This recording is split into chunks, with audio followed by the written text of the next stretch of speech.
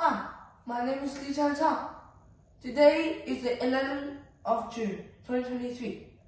Today, I will be playing Moonlight Sonata by Beethoven and Canon by Johann Pachelbel.